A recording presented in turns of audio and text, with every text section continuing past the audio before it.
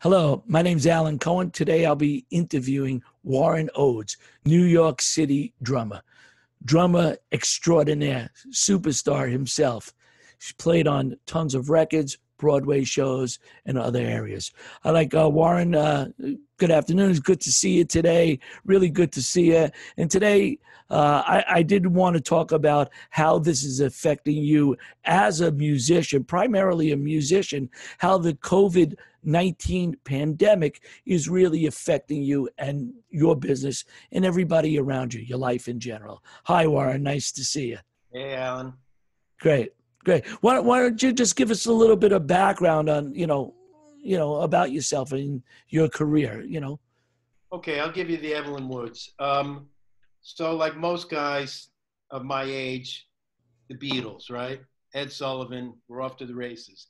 But before then, my father was a jazz fan. So I know this sounds crazy, but Jo Jones used to come out to our house oh. and stay, and sometimes his daughter would stay for two weeks. So I heard that music in my house, Count Basie, swing, and uh, crazy story. Even my father passed away, but Jo was invited to my bar mitzvah and actually brought his trio and played at the bar mitzvah. Wow, that's nuts. Okay, so played in a lot of rock bands as a kid, like everybody. Went to Manhattan School of Music. Great school. Good, good fortune. I was uh, introduced to Milton who took a liking to me and uh, introduced me to Bernie Leighton, the brilliant piano player, and I played in Bernie's group, hmm. which sort of set me into the music business. And from there, uh, it's you know there was so much going on then. You know, I worked with Judy Collins for ten years, Jackie and Roy, Chris Connor, Astrid. Lou Volpe, that was with Lou. Lou Volpe. With yeah, with Judy. Yeah, yeah, right. yeah. Right. And uh, yeah, we did. We traveled all over the place for a uh, long time. Yeah. You know Lou. Okay. Yeah, yeah. I played Sugar Babies for him. I took it over when he left. King Louie, that's what they call him. Yeah, King what Louie. a phenomenal guitar player. Unbelievable. Yeah, yeah. Amazing. So, um, you know, and then I uh, I dabbled in the Broadway show thing a little, but I was never really an inside guy there uh, by any means. And then through some weird connection, life is really nuts you know, Kirk Nurock used to live around the block from me, the piano player composer. And he was sort of tied into Broadway, and I played in his group.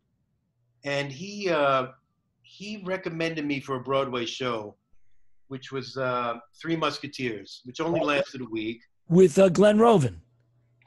You, uh, he was the composer, Glenn, or, or the conductor. Composer for that. Uh, no, no. Gordon Harrell was the conductor. Oh, Gordon was okay. But I do know Glenn very well. Yeah, of course. And um, Glenn, who I worked with uh, Raquel Welch with. Yeah, who he passed. I know Glenn. Yeah. yeah. So um, anyhow, Gordon Harrell was the conductor. he took a liking to me, and many years later, I think it was him. I don't really know how, but I was pulled into the loop for um, the Life Cy Coleman show. Yeah and that kind of started me into the Broadway world, and that's the mid '90s, and it's been on and off until uh, I was just doing King Kong, and that ended in August. Right. And since then, it's been some of this and some of that, and then now we're in the now we're in the plague, you know. So uh, okay, so let, let me ask you. Uh, I think the life uh, was Gary Hassan based on that. Gary was on the bass. Another good friend of mine. We, we know a lot of the same. So all right, so that ended just a little while ago. So then uh, you, you, did mention before to me before we went online that you are booked to do a, a show at the Paper Mill Playhouse in New Jersey. Yeah, that was supposed to have uh, was supposed to be running now. It was supposed to have been started uh, the end of February, beginning of March ish. Yeah. And of course, they keep pushing it away. And the producers, uh, they just feel like they're going to wait till the absolute last second to cancel. Yeah. They don't have to cancel. Well, when is it supposed to open, actually? When was it supposed to? Yeah, you said sometime in April in April. So now even I don't even know. I've lost track. So you were going to be in rehearsals. So of course you were going to be rehearsing. Obviously, you get paid for rehearsals. You're yeah. part of the local 802 musicians union. Yep. You were looking to get paid. Um, you're looking to have a, a, a run? How long do those shows usually run? Uh, I think with rehearsals and everything, it's, it's maybe a five five or six week uh, commitment. Right. Okay. So Yeah. So you're out of work at this point, pretty much. I'm very out of work. Yeah. Yeah. So, you know, really, like I said, the, these interviews I, I'm trying to do, I like to hear about your career, which Yeah. is really phenomenal. But, you know, how are you going to deal with, you know, you know, being out of work, I guess maybe do you get unemployment for something like that? Yeah. Here's what's happening for this incredibly wonderful moment in time, even with all the craziness out there. Yeah. I'm collecting the pension Oh, so, uh, from the Federation and I'm Yeah. on Social Security. oh, wow. So after a lifetime of, you know, working, you know, go to sleep at three, get up at seven to go to some gig in the morning, you know, take every gig possible, raising two daughters, whatever you have to do, Yeah. right? yeah, sure. I'm at this unbelievable juncture of I'm on the dole. You know what I mean? Yeah. Now I, we all don't know what's going to happen with the pension fund, or we don't know what's going to happen. I thought it, they already cut it and, uh, they you know, already cut it, but look what's going on out there. So, you know what I mean? It's they might cut it again or stop it. Who knows if, Well, who knows what's going to happen? You know what I mean? I think all bets are off, even with the cut, because I worked on Broadway for so many years. how many, about how many years did you really play on Broadway? Um, well, like I said, before '95, I was a dabbler. I was a subber, Yeah. some of this, some of that, you know, but not really in that scene at all. I was a gig guy. You know what I mean? Yeah.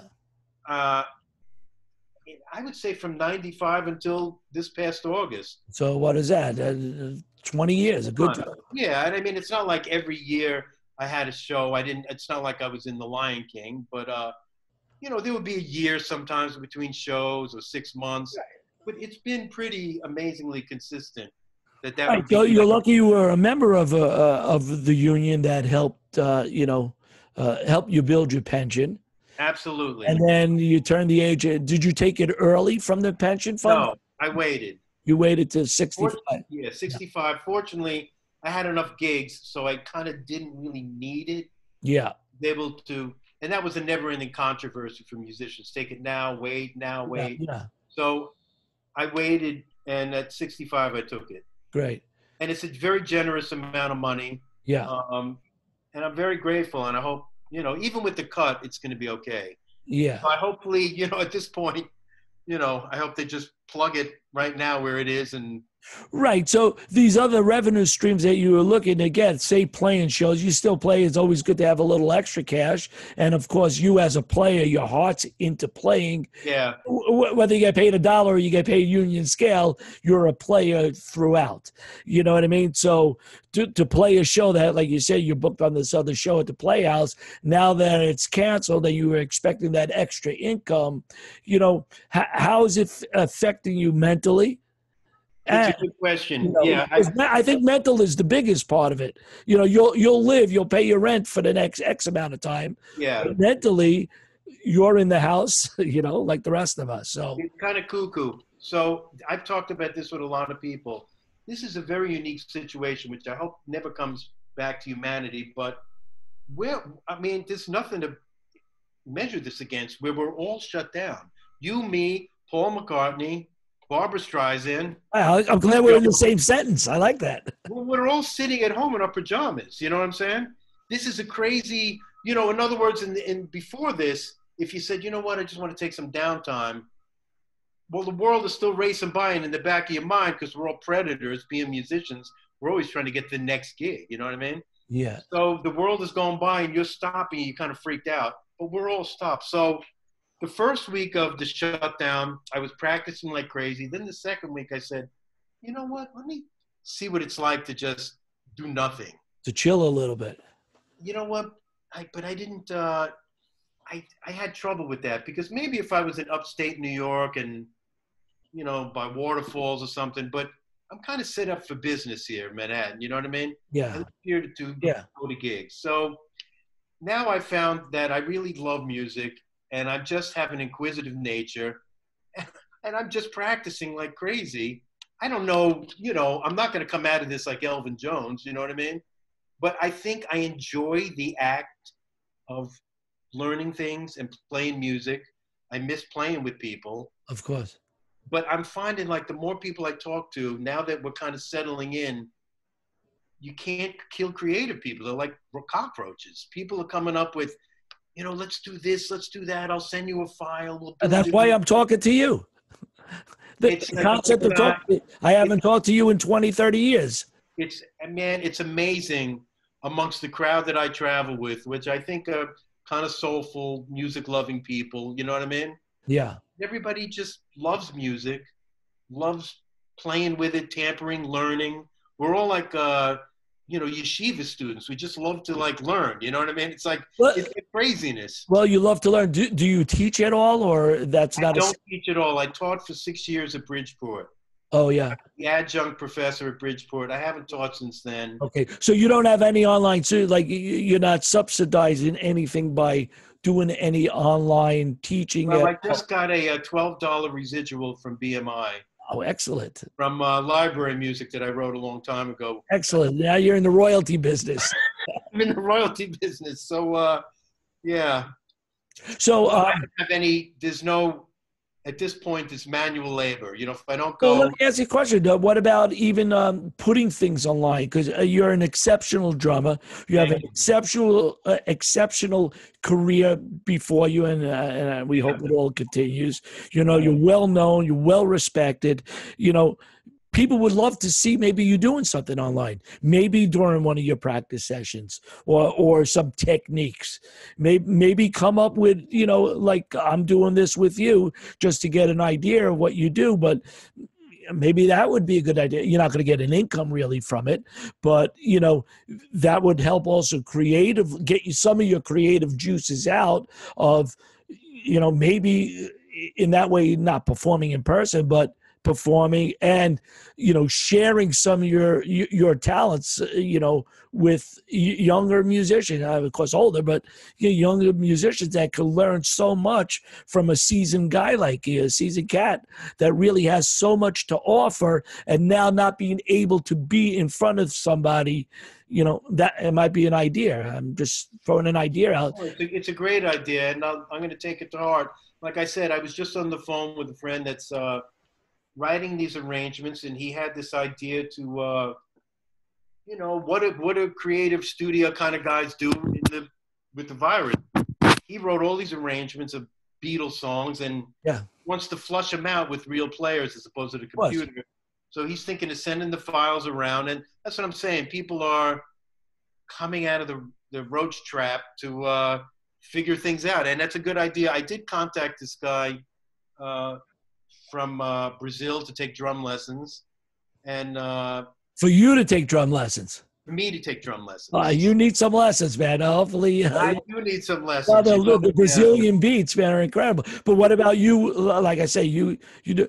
So, if they send you the tracks, how will you set up at home to record? You know, unfortunately, I don't have. I I just have V drums and Logic. Right. I've done some of this stuff for some friends, and if you're careful and you know what you're doing, you can almost make magic with the V drums. You know, sure. being experienced, I know what not to play. You know, like when you're when you've been playing a long time, you know when you go on a gig and there's a rental set and there's one drum that doesn't sound good. Yeah. drum. Yeah, avoid it. You play things on the V drums that you know are going to sound good. Right. right. Not too fast so it triggers properly. Yeah, so it just it's smooth and and uh, you know, I was kind of amazed uh, when my we did this with my friends. So there might be some of that. You know what I mean? Yeah. It's a good idea. I mean, just to keep you busy. These are all ideas. You know what? It's kind of crazy, man. But I'm driving myself nuts by myself. I'm running out of hours. Yeah. You know, I I try to get out every day and ride a bike or walk because that makes me feel better. Of course. And you know, I have this. I'm practicing things. Like I said, I'm not going to come out like Elvin Jones, but it's kind of fun learning. And it's, I'm kind of like uh, amazed at how I can keep myself busy. You know what I mean? Yeah, yeah, I find that too. I'm up in the morning. Uh, you know, the first couple days, of course, you're not sure, and now I'm busy. I busier than I've ever been. Because when I when we were in business, it was normal. I go out to the supermarket, I'll go get the mail. You know, you do this, you do that, and you come back work for two hours. Now I'm in the, uh, behind this computer, thinking I have to keep working. I'm finding like uh, it's like a childlike love again of music because my regular thing is probably like everybody we know is in the modern era. Someone sends you PDFs and MP3s Warren, here's the stuff for the gig next week, and you spend countless hours at home learning the music, and then you go to maybe a rehearsal, or just a sound check and piece it together. So there's always this constant learning of music that people send you, but there is no music to learn. You know what I mean? Yeah. So uh, it's crazy, man. It's a different, it's a different scene going on now. Yeah. Yeah. All right. Um, I think we, you know, uh, let, us try to wrap this up. So, yeah. two things. One thing, it, it, sounds like mentally, as a primarily a performing musician, yeah. keeping your, your soul and your, your spirit together by even you know at your age you know uh, you know god bless you that you still you know have this gumption that that you're still looking to educate yourself so you know you're still looking to expand your horizons and get as much knowledge as you can. That's i don't know how i don't know how people just stop. I don't you know what i mean? It's, yeah I, do, I, I don't know well i don't see it now for me you know what i mean? Yeah.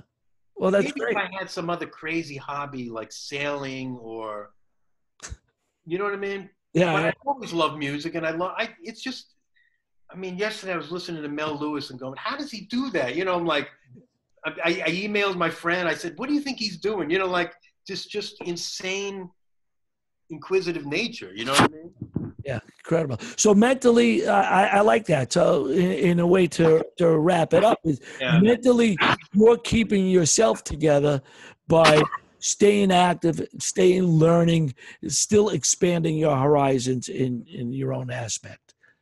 Absolutely. Right. And and and um, financially, what do, what do you see? How is this affecting you financially? Or because, like I said, because right. I have pension and Social Security, I'm yeah. a big shot. Yeah. Is, I never could see this day coming. It was always if this was happening ten years ago, yeah, I would be hyperventilating. Yeah, right. I would be climbing through the screen to steal your glasses. You know what I mean? It's like forget it.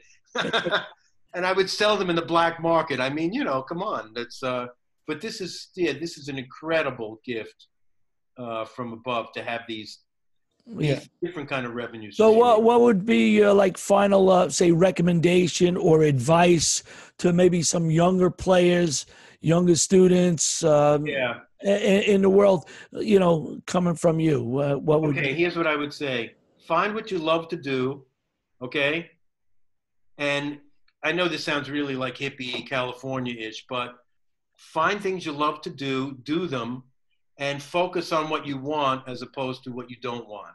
Hmm. Okay? Try to ignore the daily narrative of how crazy it really is. Yeah. And just put those energies into the world you want. You know what I mean? Yeah. And uh, I don't know any other way to do it. I mean, other than that, if you just sit in front of the TV all day and like the relentless coronavirus stream of craziness, we're all pretty aware of what's going on. You know what I mean? But uh, I have this um, naive, maybe fantasy that this will come to an end, hopefully, and the capitalists, as they are, will go completely insane doing business again.